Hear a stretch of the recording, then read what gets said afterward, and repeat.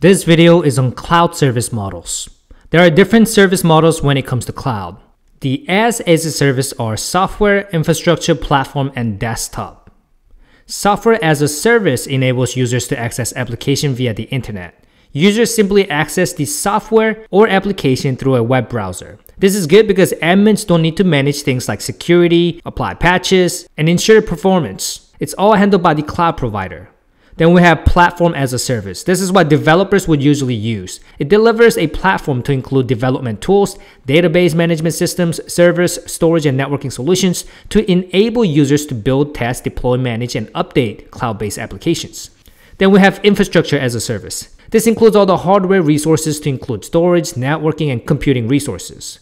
Organizations use infrastructure as a service to reduce the amount of money spent on buying and managing on-premises servers and data centers.